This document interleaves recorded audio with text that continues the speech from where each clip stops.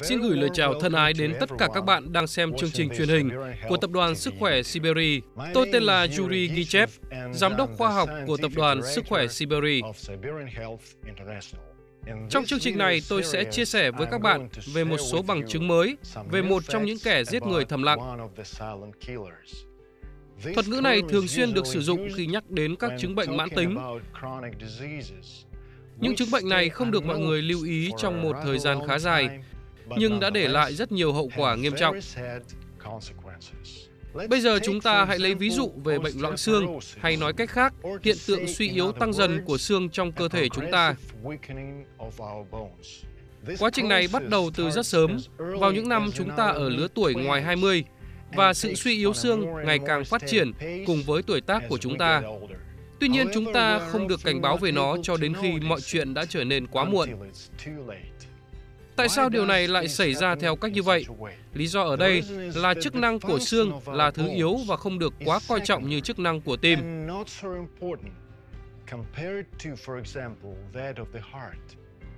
Cơ thể chúng ta thường xuyên cần máu cho tất cả các hoạt động của nó. Vì vậy, ngay lập tức chúng ta sẽ cảm thấy thiếu máu trong trường hợp chức năng của tim bị suy giảm.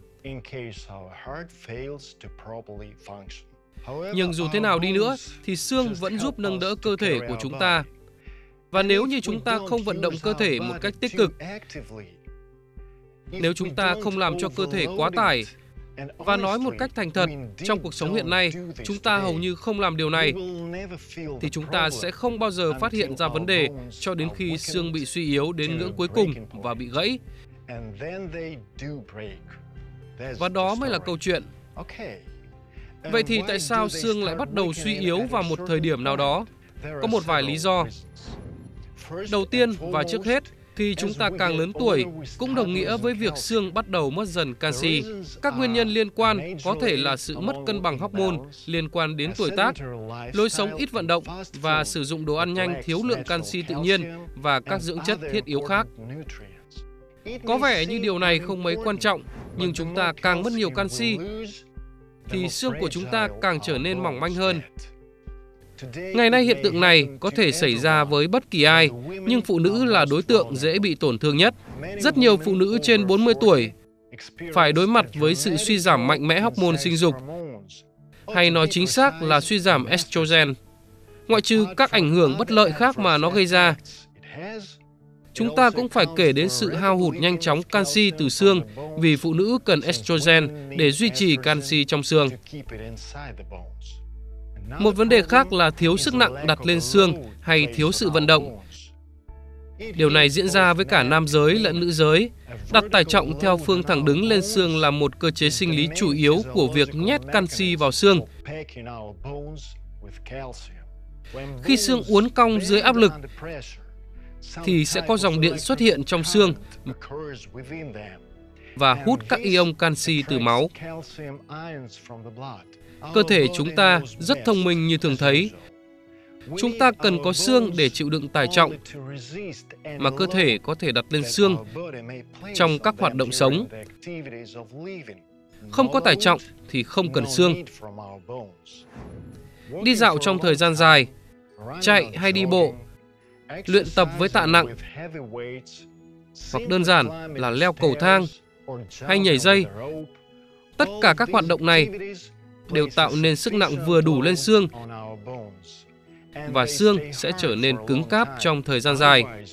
Mặt khác, nếu chúng ta hầu như cả ngày đều ngồi trong xe hơi, văn phòng, nhà hàng hoặc nằm trong khi ngủ hay xem tivi thì xương sẽ trở nên suy yếu. Vì vậy để tránh hiện tượng xương bị suy yếu và dễ gãy, chúng ta cần tối thiểu hai điều: tạo sức nặng hay vận động lên xương và liên tục bổ sung các nguồn cung cấp canxi. Thực tế thì không dễ dàng như vậy.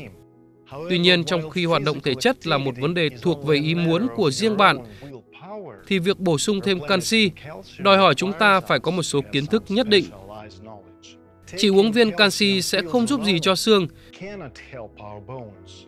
bởi vì chúng ta cần các vitamin, khoáng chất và tinh chất thảo mộc nhất định để chuyển canxi vào xương. Hơn nữa đừng quên rằng sợi collagen hình thành bộ khung bên trong xương.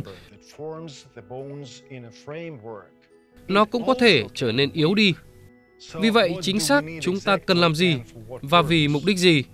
Chúng ta cần vitamin D để hấp thu đầy đủ canxi trong chế độ ăn uống hàng ngày từ ruột và không làm mất canxi qua nước tiểu.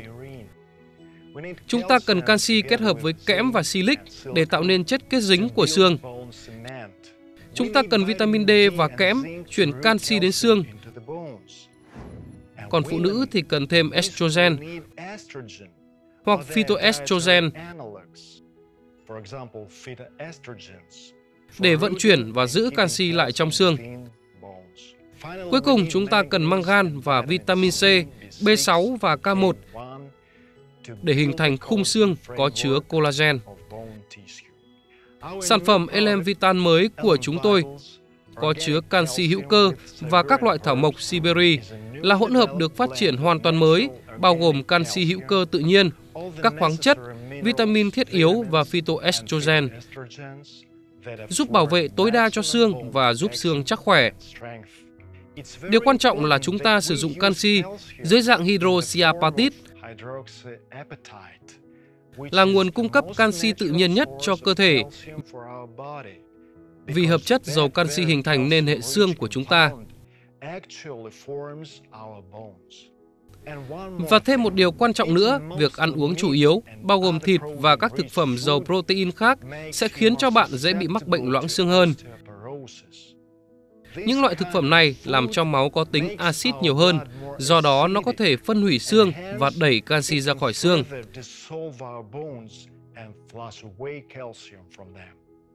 Ngược lại, hoa quả và rau củ giúp chúng ta duy trì một lượng kiềm nhỏ trong máu. Điều này là bình thường, nhờ đó giúp giảm nguy cơ mắc bệnh loãng xương. Trong các chương trình tiếp theo, tôi sẽ chia sẻ với các bạn về một số sự thật thú vị khác có liên quan đến dinh dưỡng, khoáng chất hữu cơ và các sản phẩm LMV tan khác. Vì vậy, các bạn đừng quên tham gia cùng chúng tôi trên kênh truyền hình Sức khỏe Siberia.